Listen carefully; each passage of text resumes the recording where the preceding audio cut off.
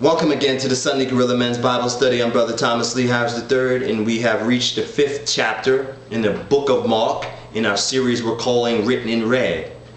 And chapter 5, verse 1. And they came over onto the other side into the country of Gadarenes. And when he was come out of the ship, immediately they met out of they were met out of the tombs a man with a certain spirit who had his dwelling among the tombs, and no man could bind him, no, not with chains. Verse 4 Because he had been often bound with fetters and chains, and the chains had been plucked asunder by him, and the fetters broken into pieces, neither could any man tame him. Verse 5 And always, night and day, he was in the mountain and in the tombs, crying and cutting himself with stones. But when Jesus saw, but when he saw Jesus afar off, he ran and worshipped him. Verse 7. And he cried with a loud voice and said, What have I to do with thee, Jesus, thou Son of the Most High God? I adjure thee by God, that thou torment me not. For he saith unto him, Come out of the man, thou unclean spirit. And he said, and he asked him, What is thy name? And he answered, saying, My name is Legion, for we are many. And he besought him much that he would not send them away out of the country. Now there was a certain now there was there nigh unto the mountains a great herd of swine feeding. Verse 12. And all the devils besought him, saying, Send us into the swine, that we may enter into them. Then forthwith Jesus gave them leave.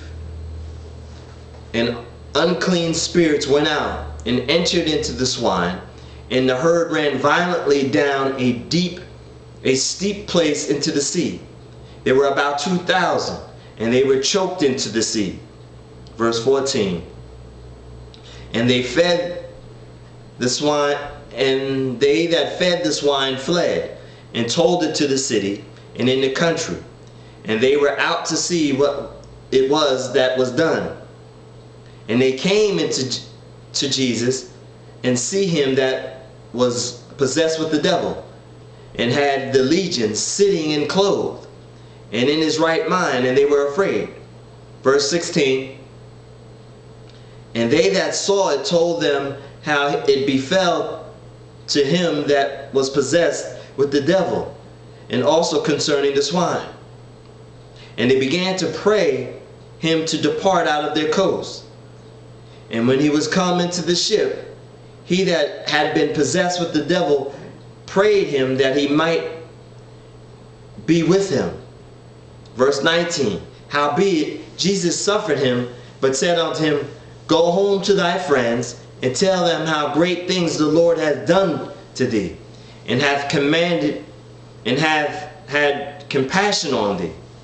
And he departed and began to publish in Decapolis how great things Jesus had done to him. And men did marvel. And when Jesus was passed over again by the ship onto the other side, because people gathered unto him, he was nigh unto the sea. And behold, there cometh one of the rulers of the synagogue, Jairus by name. And when he saw him, he fell at his feet and besought him greatly, saying, My little daughter lieth at the point of death. I pray thee, come and lay hands on her, that she may be healed, and she shall live. And Jesus went with him, and much people followed him and thronged him. And a certain woman, this is verse 25, and a certain woman, which had an issue of blood 12 years, had suffered many things of many physicians, and had spent all that she had, and was nothing better, but rather grew worse. When she had heard of Jesus, came in and pressed behind him, and touched his garment. For she said, If I may touch but his clothes, I shall be whole. Verse 29 And straightway the fountain of her blood was dried up, and she felt in her body that she was healed of that plague. And Jesus, immediately knowing in himself that virtue had gone out of him, turned about in the press and said, Who touched my clothes? Verse 31 And his disciples said to him, Thou seest the multitude thronging thee, and said thou, Who touched me? And he looked around about to see her that had done this thing. But the woman, fearing and trembling, knowing what was done in her, came and fell down before him and told him all the truth. Verse 34. And he said to her, Daughter, thy faith has made thee whole. Go in peace and be whole of thy plague. While he spake, verse 35, while he, while he yet spake, there came from the ruler of the synagogue's house certain which said, Thy daughter is dead. Why troublest thou thy master at any further? As soon as Jesus heard the word that was spoken, he said unto the ruler of the synagogue, Be not afraid, only believe. Verse 37 And he suffered no man to follow him, save Peter and James and John, the brother of James. Verse 38 And he cometh into the house of the ruler of the synagogue, and seeth the tumult, and them that wept and wailed greatly. Verse 39 And when he was come in, he said unto them, Why maketh this ado and weep? The damsel is not dead, but asleep.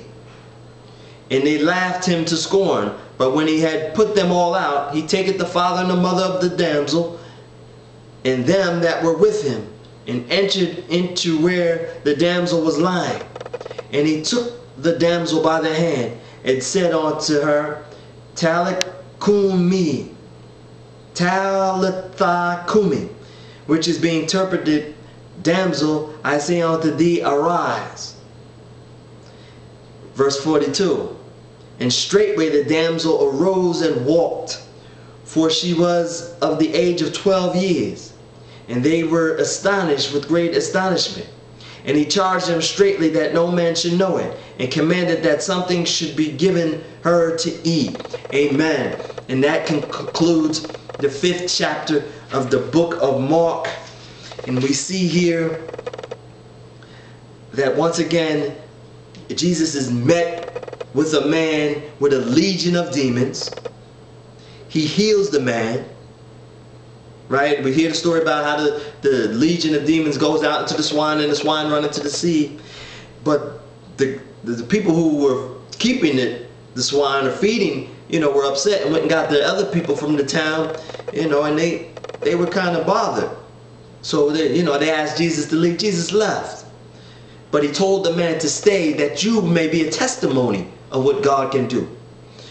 And then we see um, Jesus meets a man Jairus about his daughter who was sick, you know, and he wanted him to come and heal his daughter. But on the way to healing his daughter, there was another woman who had an issue of blood, who in her faith, Jesus says, your faith has made you whole. And she realized that if she made contact with the master, she could get a blessing.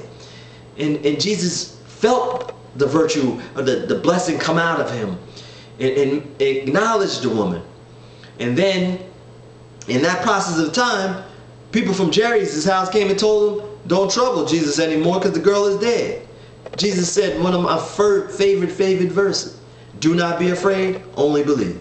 Right? He moved all those doubters out of the way and went and did what the man came and intended him to do, heal the daughter. And that concludes the fifth chapter of the book of Mark. Amen?